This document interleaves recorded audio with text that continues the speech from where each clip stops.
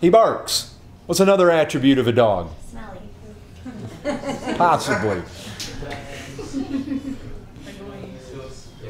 They have four legs. They typically have a tail. They, an attribute is a characteristic. Now, when we talk about communicable attributes, what do we mean? What does communicable mean?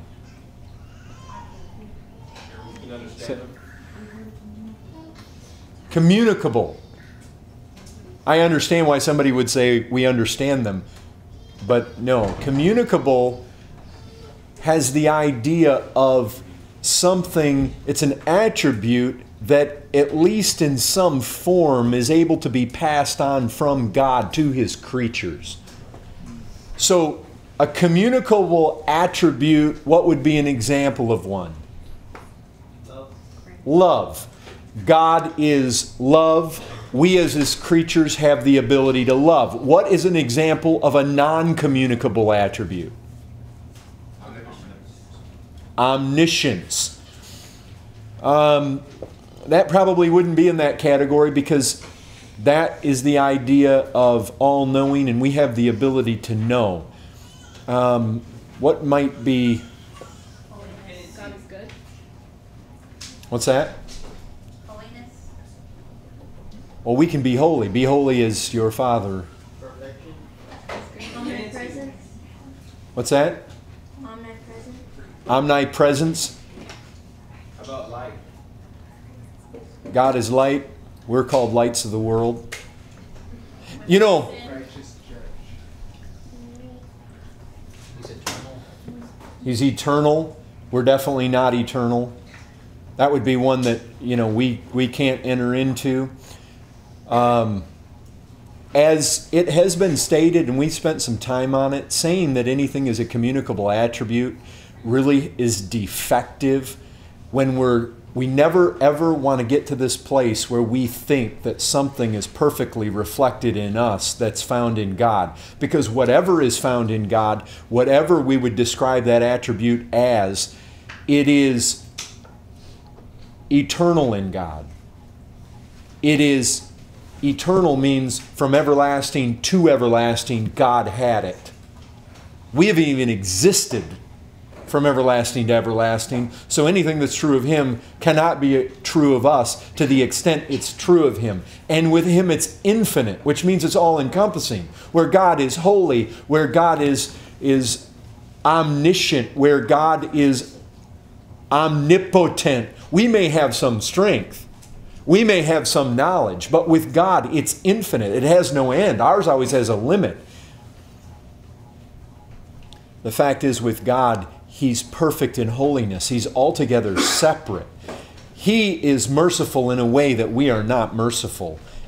He is righteous in a way we are not righteous. We are little flickers of this thing, but we never want to get to the place where we think communicable attribute, okay, God is love, we have the ability to love, and somehow our love is so filled with defect compared to the love that God has. God's love is abiding with God. God's love is everlasting with God. From everlasting to everlasting. It had no beginning, had no end. It is infinite. I mean, there, it knows no bounds.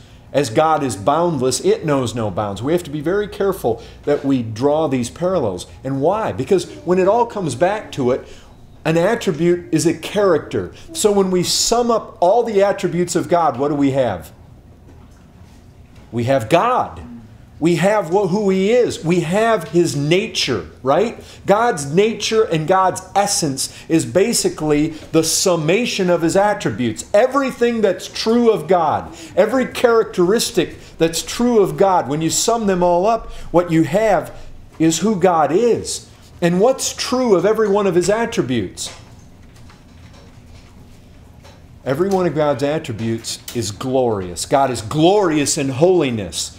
We speak about the, the glory of his grace. Every one of his attributes, there's a glory.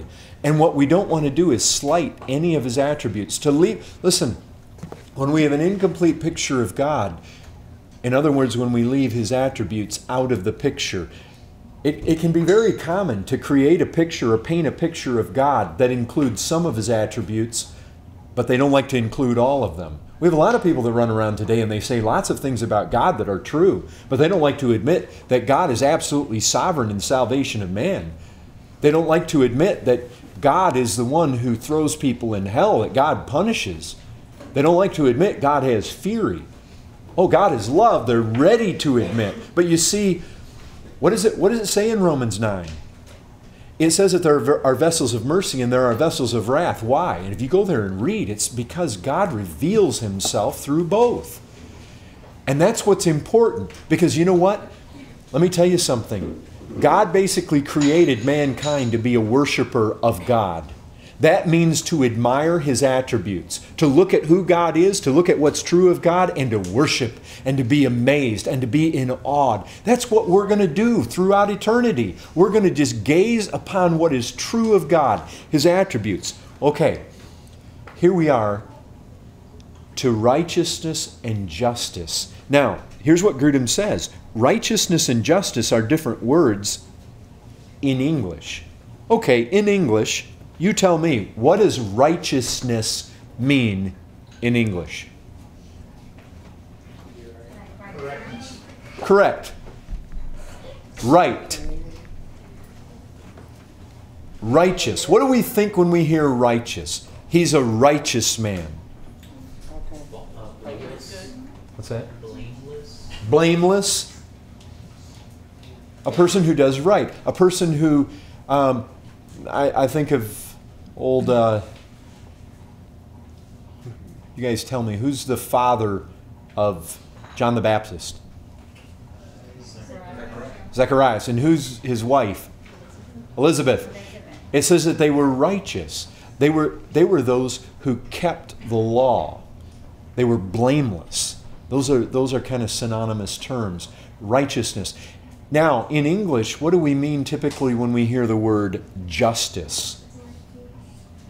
You think differently, don't you? You typically don't think the same thing you think of when you think righteous, right? Or do you? You know, we typically don't use that. Uh, We typically don't say, well, he's a just man. Now, in the scriptures, they'll say that, but we'll say he's a righteous man. We typically won't say just. Justice, we think oftentimes about a court of law. But maybe it's not so far removed from righteousness, right? Because what do we say? I want justice or I demand justice. What do we mean by that? What is right? Yeah, it would be what is right. And righteousness has to do with what is right. I'm sure I'm sure Grudem has something specifically in mind when he's thinking about the differences in English. I, I, we know that difference. I think we feel that difference. That when I hear justice, I think I think judges. I think courtrooms. I think along those lines. If I hear righteousness, I don't think so much courtroom. I think about a person who lives right. But what he points out, regardless of what we do and how we think of the English, he points out in the Hebrew Old Testament and the Greek New Testament, there's only one word group behind these two English terms. In other words, even though they may be translated into English, righteous or just, in the original they come from the same word group. They basically come from the same uh, word meaning. In the Old Testament, the terms primarily translate forms of the Tzedek word group, and the New Testament members of Dikaios word group. Therefore, these two terms will be considered together as speaking of one attribute of God. God's righteousness means that God always acts in accordance with what is right and is himself the final standard of what is right. Did you guys all catch that?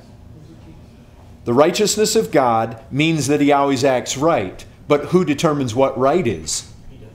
He does. He himself is the final standard of what is right. So, in other words, that really would be saying God always acts in accordance with himself. Right? God is the standard of what's right. He declares what is right. And he is never inconsistent with his character. He is never morally inconsistent with who he is. He will never violate his character. And, and that character never changes. God is unchanging. Speaking of God, Moses said, All his ways are justice. See, we wouldn't say it like that, would we? We would say, All his ways are righteous. But all his ways are justice. A God of faithfulness and without iniquity, just and right is he.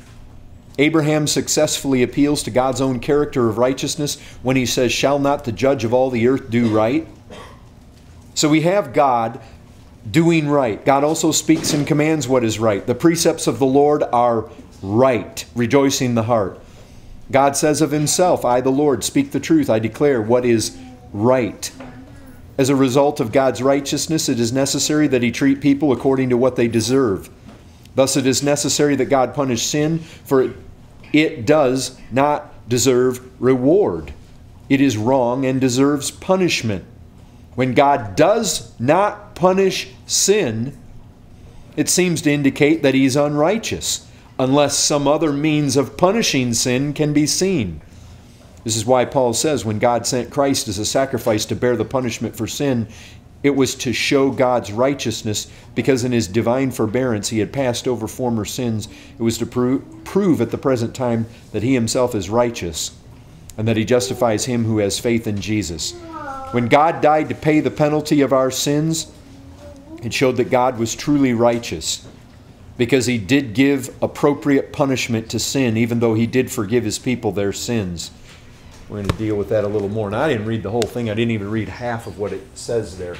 But I want you guys to get this idea God is righteous. Righteousness and justice come from the same word group. To, so, so to say his ways are justice or his ways are righteous just means simply this God always does what's right. He himself is the standard of what's right, and he never, ever, ever, ever, ever deviates from it. And you see, that's one of the non communicable attributes of God, which is what? His changelessness. Here it is His eternality, His infiniteness, and His changelessness. Those are the areas you really want to hit on when we think about what God is that we aren't.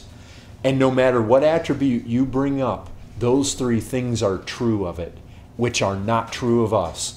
No matter how much we may talk about a communicable attribute, in other words, a characteristic that is in us that we can also identify in God, you remember this about every one of God's attributes it doesn't change. It never changes. We change.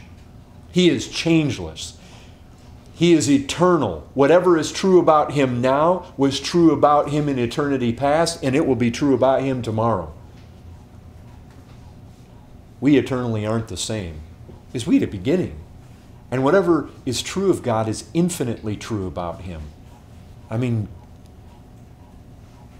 it's infinite in its expanse because he is infinite. I mean, you think about what Solomon says about him. Heaven can't contain. This universe cannot contain God. He goes outside the bounds of space, outside the bounds of time. Okay. So, God is righteous. So what? You know, that's what, when I study this, that's, that's what I sit back and say. So what? You say, well, so what? Well, if it's true of God, it's in our best interest to know it. Yeah, but why? Why does it matter to us? Look, I can come at this another way and I can say it matters because God matters. Because God is center to everything. Whether we acknowledge it or not, God is central to this universe. God is. God is the central being of everything. And so, because He is, what He is matters. I mean, we can look at it like that. We can look at it from a lot of different ways. Let me tell you this what God is matters because you're going to come face to face with God. Look, You know one thing that's absolutely true of every one of us in this room? You can try to hide. You can leave this place tonight and run off out here into the darkness. You can run home and you can go hide in your closet. You can run and try not to be seen by me or by others here. You can run and try to hide from people in the church. You can live a life where you're embarrassed. You can live a life where you don't want to be exposed. You can live a life where you're running from your own shadow because you're skittish, because you've got a guilty conscience, because you know that you're living wrong. You know that your life is a lie. You can try to run, you can try to hide, you can go get the sleeping bag and crawl in it and zip the zipper up, and you can find one that's got a zipper that zips all the way around it. You can go in it, you can try to hide in there, and you can get in that sleeping bag and then go in your closet. Let me tell you this every one of us in this room, we're walking a path that's going to cross the path of God face to face. And there's no getting around it. You can run, you can hide, you can deny it, you can lie. You can try to avoid me, you can try to avoid people, but you can't avoid your meeting with God.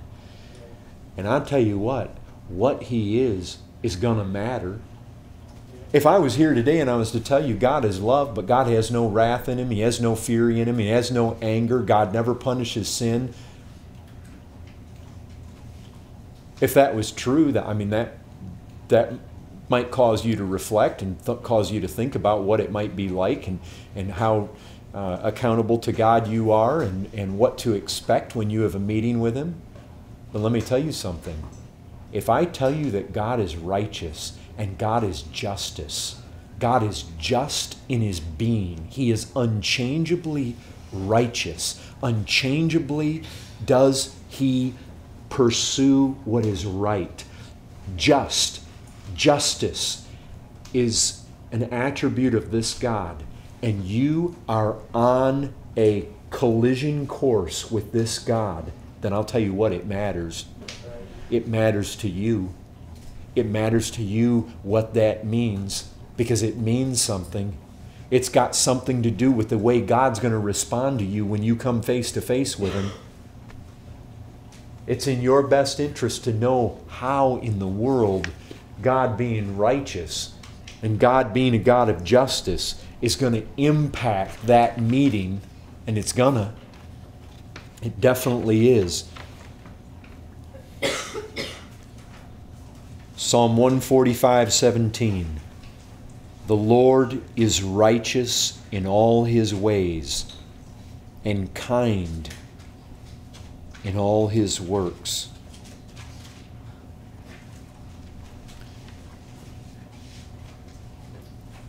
Jesus Christ, he was called the righteous. Can anybody think where he was called that? First John. 1 John chapter 2 verse 1. Jesus Christ the righteous. You know, we read that, and it probably, we could say that to people. There are some of you sitting here, and you're thinking, you know what? I don't even care. That doesn't even matter to me. Jesus Christ the righteous. Why do I care? I want to go out of here and have fun. Your estimation right now, life, life is just a, it's a pain. It's not very fun. You feel like you're given a raw deal you feel like things aren't working out for you, what in the world do you care if Jesus Christ is the righteous or if he's the unrighteous? If they ever call him that or if they don't? People looked at him and said, Surely this was a just man. What does that mean? What in the world what in the world's that got to do with us? I'll tell you this. Your path is going to cross with this Christ, the righteous one. Why does it matter? Because I tell you what, He's the standard. He sets the standard and He never deviates from that standard. You say, why does that matter? Because you know what man so flippantly does? Man flippantly sets up his own standard. Does he not? Man decides all the time in his own mind what is right. Man is a fool by nature. Man is an absolute idiot. He comes into this world and he says, You know what's right? What's right is what I can see with my eyes and what I deduce to be right and what I think is right. And so you've got men in the universities, you've got scientists, you've got men that, by human estimation, are very wise men, very smart men, very learned men, very knowledgeable men. But what? But what the Bible says is true and what is right and what is correct about God and what is according to His righteous standard, they look at it and they say, I don't believe that. I believe what I see, I believe what I've observed, and I believe what I think is right. You know what the Bible says? There's a way that seems right to a man. You ever hear that one? Yeah. Proverbs 16 25. There is a way that seems right to a man, but its end is the way of death. You know what? God is righteous. God is just. And He operates according to His standard. Here's the problem. Here is the big problem. You know what you've got on a collision course? You've got man and God coming on a crossroads. They are coming, every one of us in this room are headed for it. And you know what you've got? You've got God saying, I am the standard. My standard abides, and whoever does not meet my standard is in dire trouble. And man comes along and says, I am the standard. I declare what the standard is. I say what's right. And they're on a head on collision course. And there are some of you sitting in this room right now, and you want to think that. You want to think, I know what's right. And when you're talking about fools and idiots, I think you're one. And if you guys think that this Bible is true, I all the more think you're one. And you can talk about your God all you want. My God's not like that. And you see, that's exactly what man does. There is a standard, there is a reality about who God is, there is a standard of righteousness by which He operates. He sets that standard, and we come along and we say, We don't like that standard. So basically, what we're going to do is recreate God in our mind. We're going to recreate the way to be saved. We're going to recreate what's true. We're going to recreate the standard. And you know what? The Bible says it knows all about this. You know what? People come along and they say there's a way that seems right to man, but what's the end of it? It's the way of death. You see, you see, folks, when you say, I'm not going to take God as the standard, I'm going to set my own standard, guess what? Death. You don't run head on into God and live. You think you're the standard? You want to pit yourself against Him? He comes along and says, I'm the standard. I'll tell you when that collision happens, who's going to be the fatality? It's not going to be the Lord. There's a way that seems right. Boy, didn't we think we were smart when we were lost? Listen, if you're in here and you're lost and you've got your own way, you've got your own standard, there's a way that seems right to you. Look, we were there too. We were there until God graciously changed the way we see things. He opened our eyes to who He is and the fact He is the standard. He put His fear within us, made us see Him for what He is, gave us, gave us that broken will to bow the knee and realize He is the standard and we are not.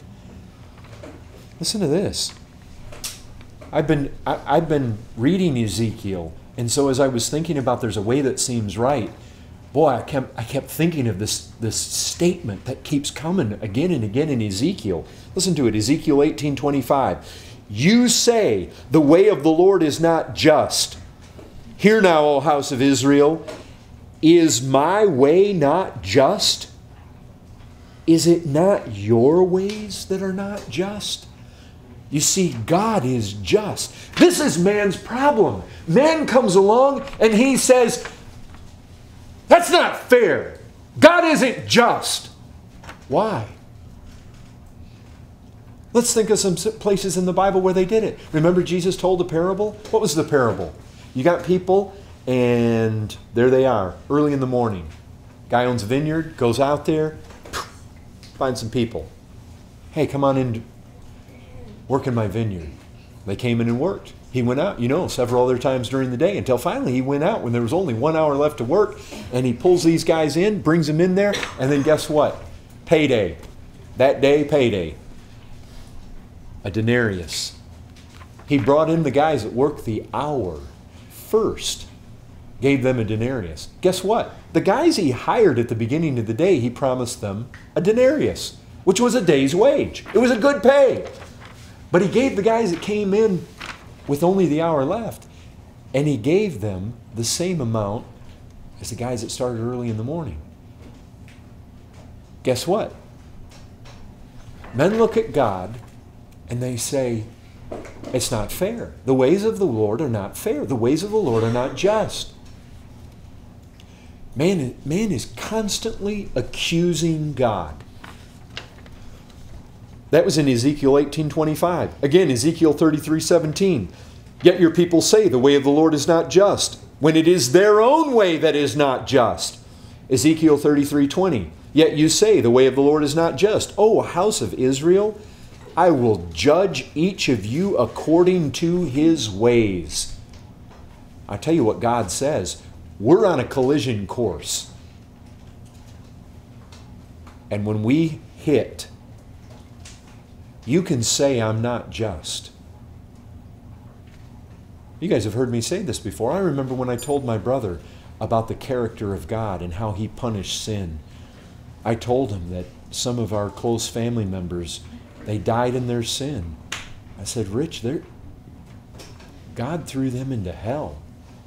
Well, if that's what your God is like, you can have him. You know what he's saying? You know what he's saying? If God is like that, I don't want a God like that. He's not fair. He's not just. He's not right. That wouldn't be right to throw our aunt and our grandfather. They were, I mean, in our estimation, they were good people. By whose standard? By ours, not by God's. You see, we don't count him just. Why? Because we set up the standard, and when he doesn't comply with our standard, we say he's not just. But those people in Israel back then aren't the only people that do it. Folks, we have people come into our own church, and when they begin to hear about the doctrines that are taught, like in Romans chapter 9, that God has mercy upon whom he'll have mercy, has compassion upon whom he'll have compassion, they say, that's not fair. That's not just. I don't like a God like that. I don't like a God who determines who's going to be saved. I want a God that, you know what? It's according to my free will. I can, I can be in or I can be out based on my own. And I don't like it that God chooses to love Jacob and hate Esau. I don't like that. You see, folks, there's a way that seems right to us. We don't like it. How about this Malachi 2:17? You have wearied the Lord with your words. What words? By asking, "Where is the God of justice?" You see, what do men do? Men find their life gets hard and they're thinking, "Lord, this isn't just." They find that things just don't go the way that they want. Where's the justice? And God's saying, You don't understand it. You don't understand the standard. You don't understand righteousness. And look, it's not, it's not always the lost people. Let me give you another example. How about Job? You guys remember Job? Job said this Job 34 5. I am in the right and God has taken away my right. You see, folks, the way of the Lord is not just. That's what they were saying in Ezekiel. You know what Job was saying? I lived righteous. God came along and took away my children. He took away my wealth. He took away my health. Listen to it. I, Job has said, I am in the right, and God has taken away my right.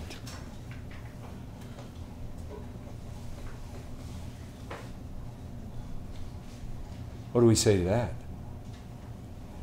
God is a God of justice. God is a God of righteousness. Let me tell you something. Job and God were on a collision course, even before death. Where? The whirlwind. The tornado came. God says to him, Shall a fault finder contend with the Almighty? This is Job 40, verse 2. He who argues with God, let him answer it. Job 40, verse 8. Will you even put me in the wrong? Will you condemn me that you may be in the right? Do you see what's happening here? Job put himself in the right. The Bible says God is right. God is always right. There's a way that seems right to man. Man will set himself as the standard of what is right, but God is righteous. God is just. Let me tell you this. This is why it ought to make you fear. You have a date with this God face to face. When He is going to look at you and everything is going to be weighed in the balances of justice. Everything. I can remember telling one of my friends before I moved down here about the nature of the God of the Scriptures, and he said, Yeah, but God's love. Meaning what? You see what people do? Folks, you may read this God is just, God is righteous, God is a God of justice. And you may just say, it doesn't mean anything to me. Let me tell you what it ought to mean to you. It ought to mean to you that God is going to do right all the time. And never let the fact that God is love convince you that He will never do exactly what is right. For God to not do what is right would make God unrighteous and unjust. And that is absolutely inconsistent with the very character of God. Do you not see? This is what sinners don't understand. They don't understand that God must do what is consistent with his character, and his character is one of justice. You cannot ever expect God to bend his justice and his righteousness because of any other attribute. He comes face to face with one of his own beloved children, Job, and he says, Will you contend with me? Will you find fault with me? Will you put yourself in a place where you condemn me that you may be right? Oh, brethren, you know what Job says after he he says, I, I put my hand on my mouth. Can I tell you what God does? God doesn't come along to Job and say, well, Let me explain my righteousness to you. Let me explain my justice to you, that you might learn and logically deduce that I'm in the right. I'm always in the right because I am a God of right. Do you know what he does? He doesn't explain the rightness of his actions in taking away Job's children so that Job can just simply understand how God's actions were right. You know what he does? He tells, have you guys ever read Job? He doesn't come in and say, listen, I'm always right.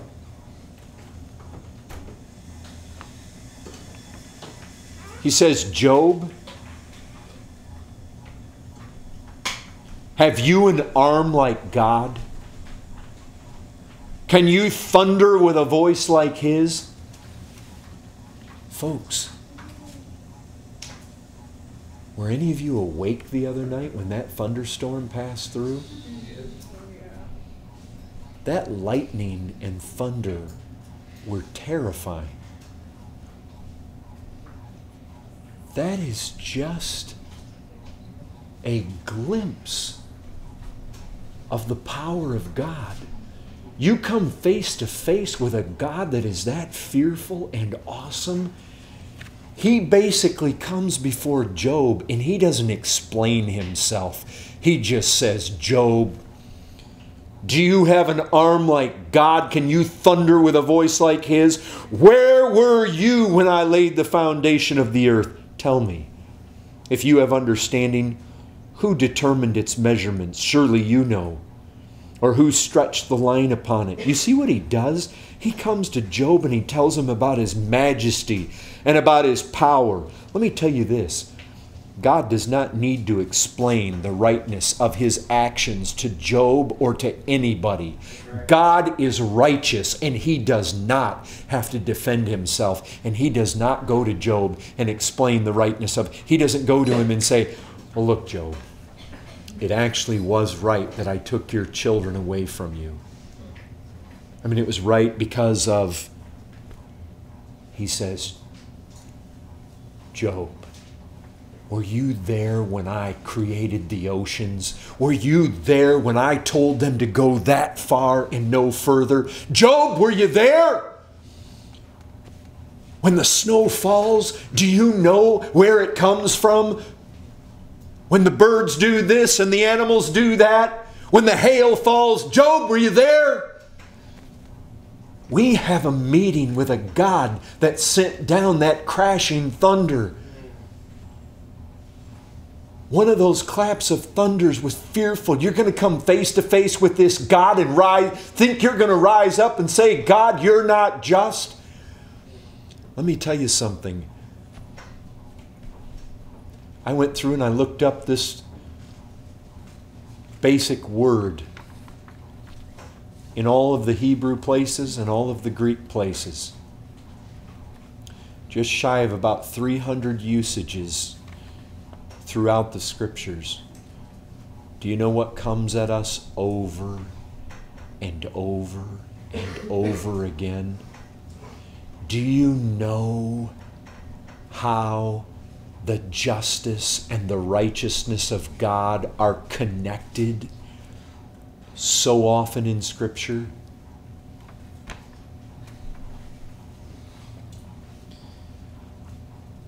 They're connected with judgment. Pharaoh sent and called Moses and Aaron and said to them, This time, it was after the hail fell in Egypt, I have sinned. The Lord is in the right. There's our word. He's in the right, and I and my people are in the wrong.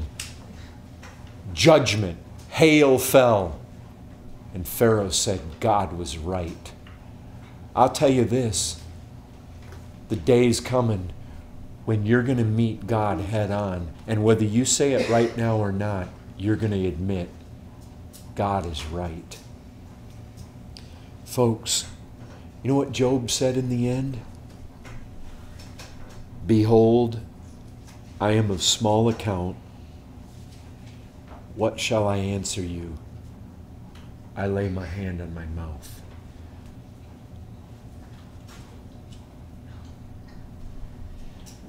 You know, this is basically where, where Paul comes from in Romans 9. As it is written, Jacob I loved, Esau I hated. What shall we say then? Is there injustice? There it is. On God's part, by no means.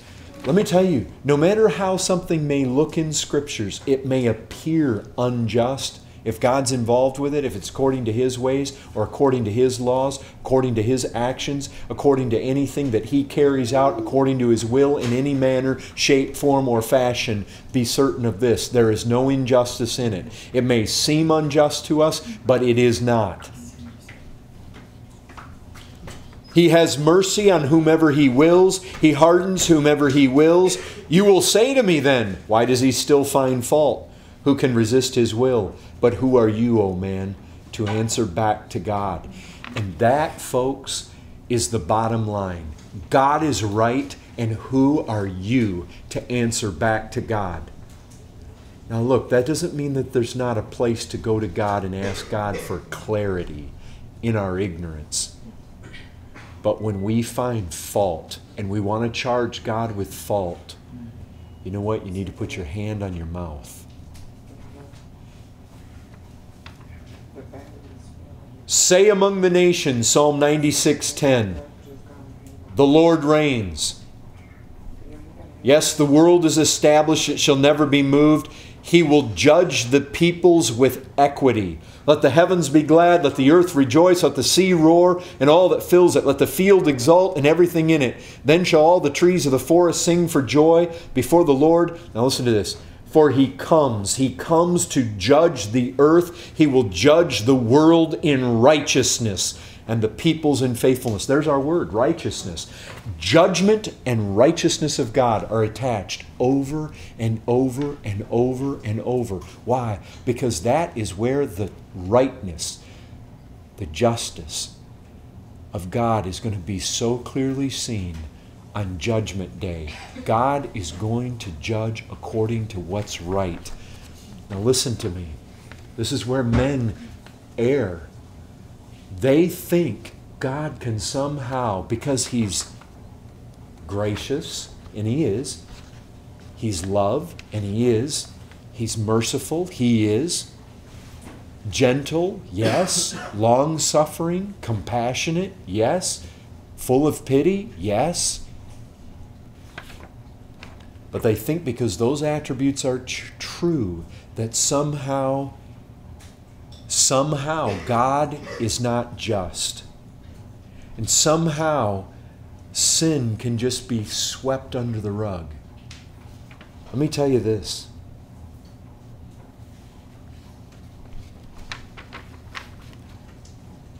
You basically know what happens.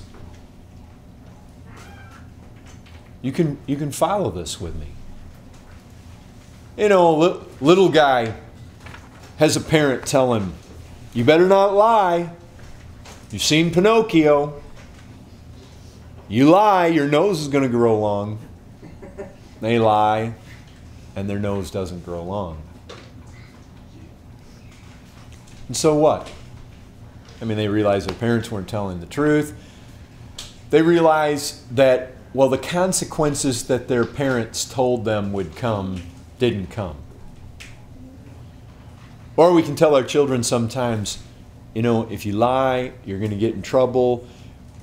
Or you might teach your children, you don't want to have premarital sex because all these horrible things are going to happen, and they do it, and actually they enjoyed it, and all the horrible things that their parents told them would happen, they don't see happen immediately, and so they think, well, and, and you know, you know what the scripture says? In Ecclesiastes 8:11 because the sentence against an evil deed is not executed speedily the heart of the children of man is fully set to do evil. Now did you guys catch that? You know what it says? Because when men sin lightning doesn't just flash out of the sky and kill them on the spot. They become bold in their wickedness. You see, because they sin once and no lightning, they sin again. It's kind of like the Pinocchio thing, right? You lie, go look in the mirror, it didn't grow. Lie again, go look in the mirror, it didn't grow. You see, because because the consequences of sin don't come immediately, man gets bold. You know what? Because sin isn't executed immediately, men begin to think God isn't just. Oh, I'll tell you this God is never going to not be God because you think he ought not to be the way he is. God isn't in the day of judgment not going to be God, and He's not going to change any of His attributes just because you thought He was unfair.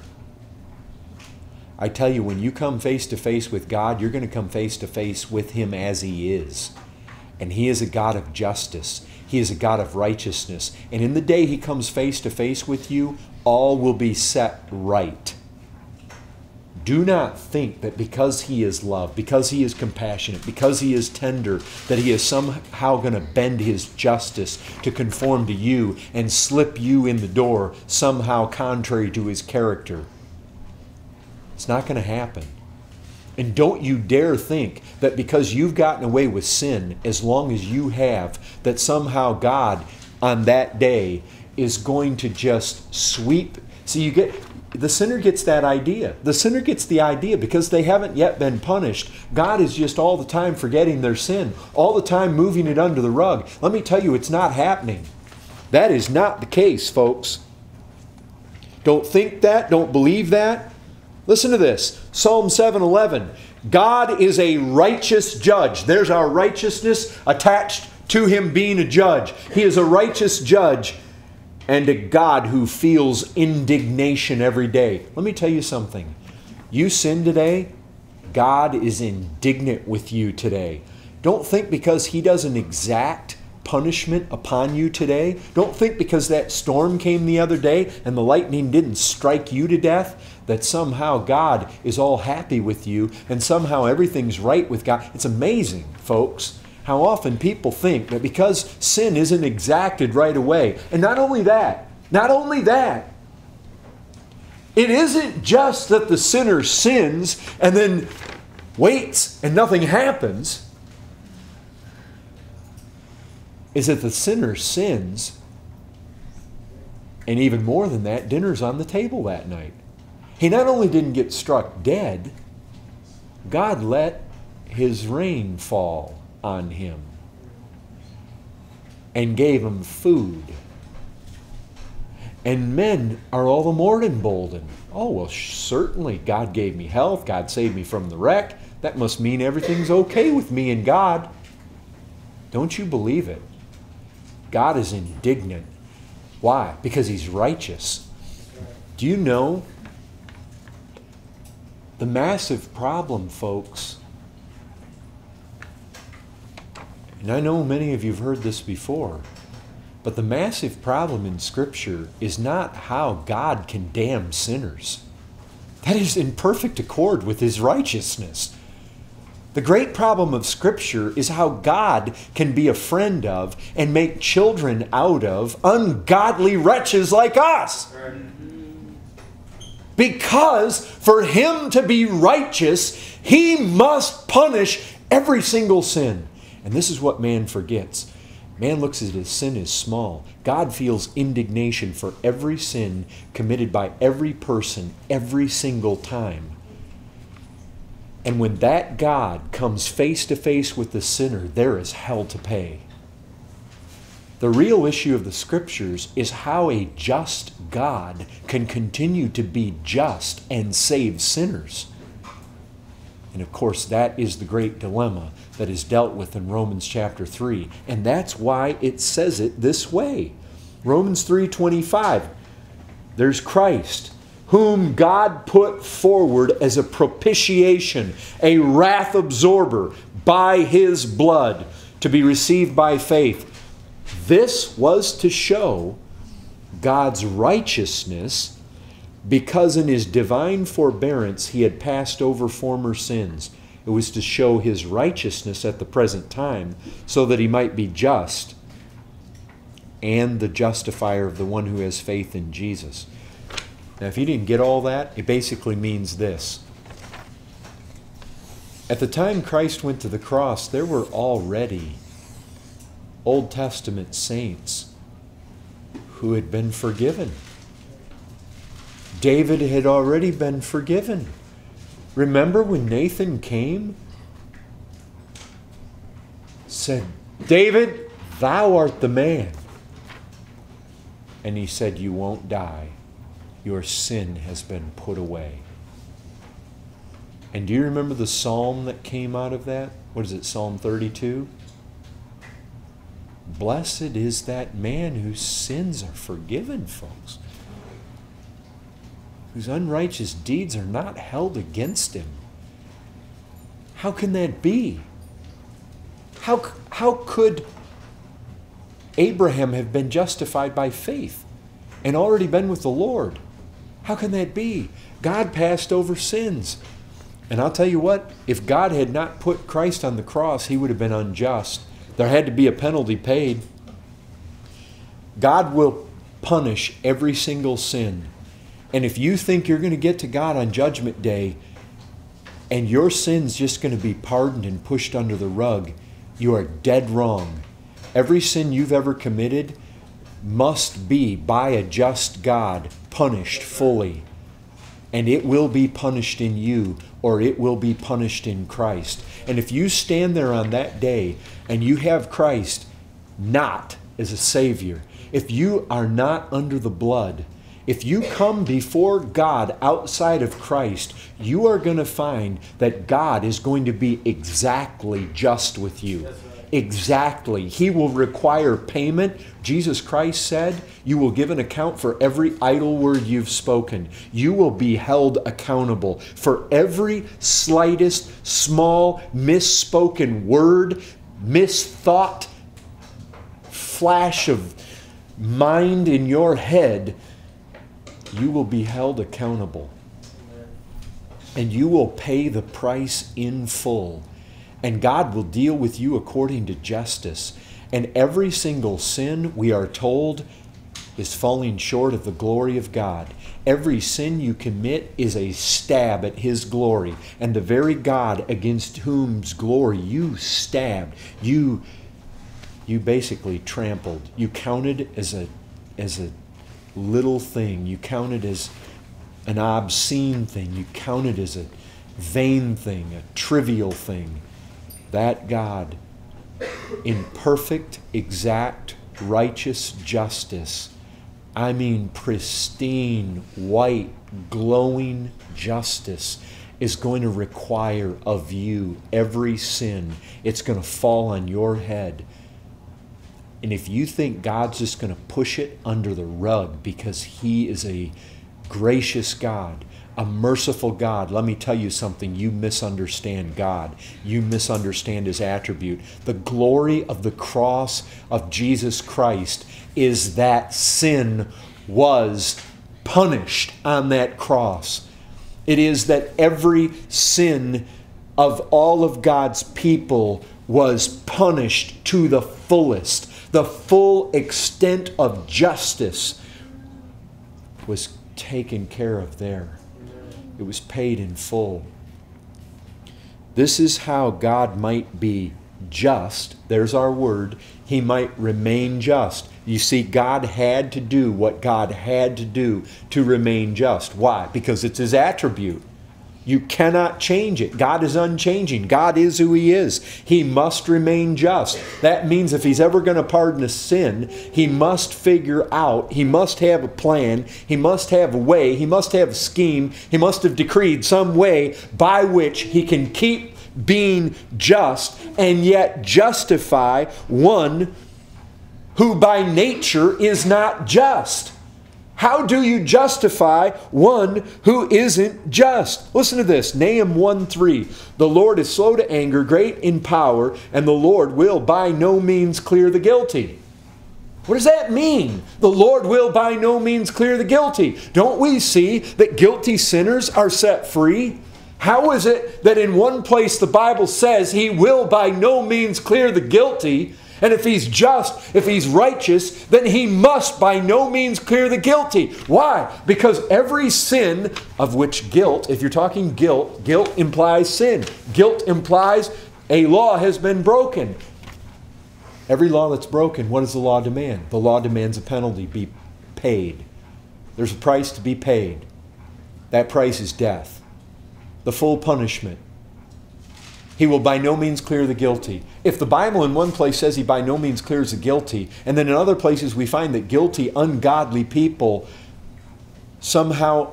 Does the Bible not say that he justifies the ungodly? It certainly does. In Romans chapter 4, how in the world can God justify the ungodly? How can he declare a wicked man righteous? How can he. It says by no means clear the guilty, and yet he clears the guilty. Either the what's wrong here? Is there a contradiction in Scripture? Brethren, this is the glory of the gospel. He who knew no sin became sin. The guilt of sin was laid on him. He became guilty. God needed to do that in order to remain just. Look, every one of us in this room have a date, a time. It's appointed. You're going to die. Then as Hebrews 9:27 says, and then the judgment. Every one of us in this room has an appointment with him who is just. And he is going to reward you exactly according to what you deserve. He's not going to bend the rule in the least. And the only way a sinner can come before him and find that an exactly perfectly just God can deal with the sinner in that day in a way that will not require your damnation is if in all of his justice your sin was fully paid by Jesus Christ. There is no other way. We got too many people walking around thinking the ways of the Lord are unfair. But I'll tell you what, it's perfectly fair for God to throw sinners into hell. Perfectly fair. And what God worked out is a way for Him to remain just, remain fair, remain a God of justice, remain a God who is righteous, and yet take the guilty and find a way to pardon them and make them His children. And that way is through the cross. Christ had to become a propitiation, a wrath bearer. God is full of indignation every day. Remember, He's righteous. He's a righteous judge. He views men. He sees their sin. He's full of indignation. You know what propitiation is? It is a turning of that indignation away from us into Christ. He took the blow, He took the indignation. It's got to happen. Every sin, there's indignation. There's a cup of indignation that must be drank. You drink it, or Christ drinks it. Justice demands it. If you get to the end, if there's any of you hearing my voice, you get to the end of the life, you've basically spurned Christ, voided the cross, and you've just kind of laid it up that you're going to get in somehow, some way it's just going to work out in the end, you're a fool. Because what you're doing is denying who God is. And in that day, you won't deny who He is then. All you'll be able to do is cover your mouth. Because you know what? It's going to be like it was with Job. Job saw him. Job heard his words. Job didn't need an explanation at that point as to why God was righteous to take his children away. He didn't need it. He took one look at him, he heard his voice. That was enough. He says, I repent in dust and ashes. Do you know God never did explain why he took his children away? God never did explain why he took his wealth away, why he took his health away. And I'll tell you this he doesn't need to explain to us why he does the things he does. I can guarantee you what he does is righteous, what he does is just. And that day, none of us are going to be able to find fault.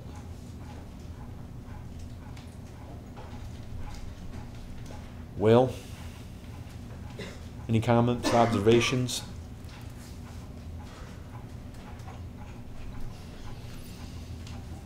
I'd say if anyone could, like, get that book, The Holiness of God. Like, The Holiness of God. What by R.C. Sproul? yeah, Yeah, that's a good one.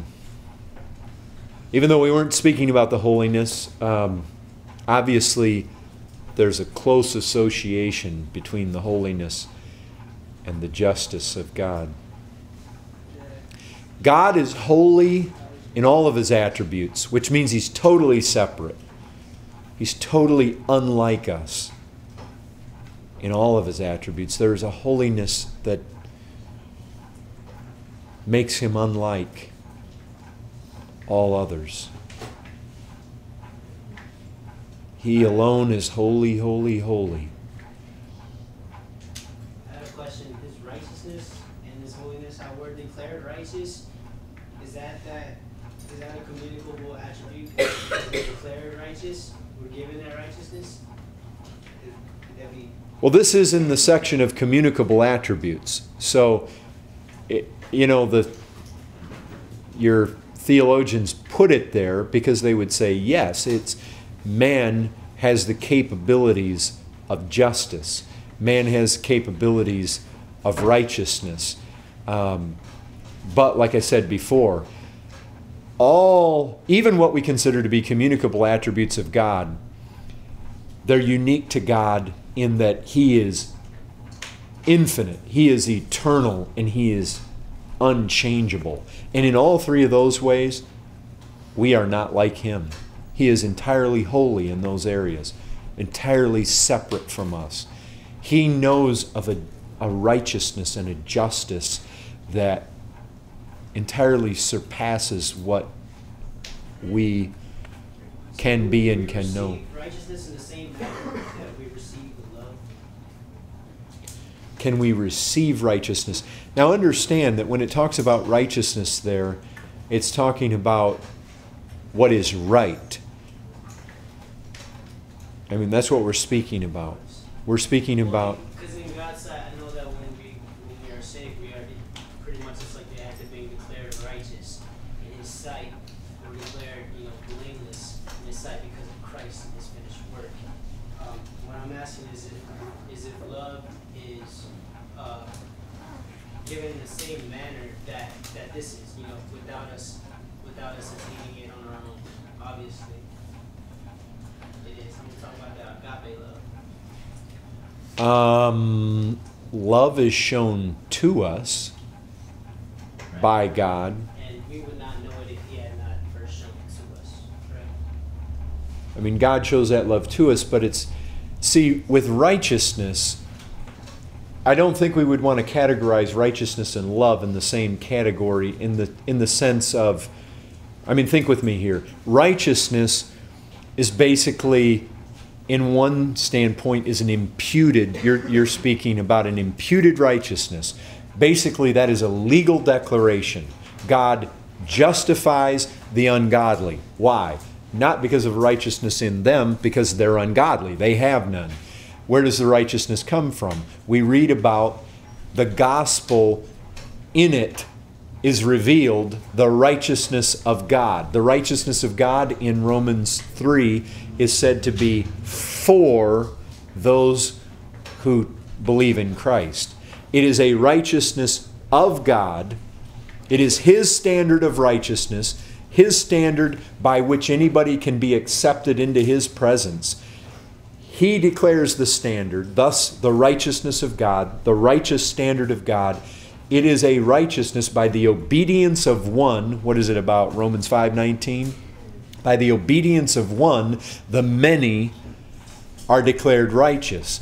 He obeys, we are declared righteous. Now, when, when we are talking about the righteousness of God, we're obviously not talking about an imputed righteousness. We're not talking about God having a righteousness that came from some other place, or as some like to call it, an alien righteousness. What we're talking about is an actual righteousness. This is actually how He is, which would be more in line, if we're talking about a communicable attribute, would be more in line with the practical righteousness that we have as believers. Not so much the imputed righteousness or that which is legally bestowed to us, but that righteousness would would be more consistent with the things that we read about in the new covenant, such as the law of God being written on our heart, a new heart being given to us, the Spirit of God being put within us, by the Spirit of God putting to death the deeds of the body, practicing righteousness. So They- there's two types, and the imputed and the one that's written on our hearts. you, you have a practical righteousness that we actually live out, which is increasingly coming into the to conforming image of Jesus Christ, versus that immediately perfect imputed righteousness. So you have one that's legal, one that's practical. Where love, you know, love is never spoken about in those two different ways. Love would be more like, um, it wouldn't be like the imputed sense, it would be like the practical sense, where a Christian can demonstrate justice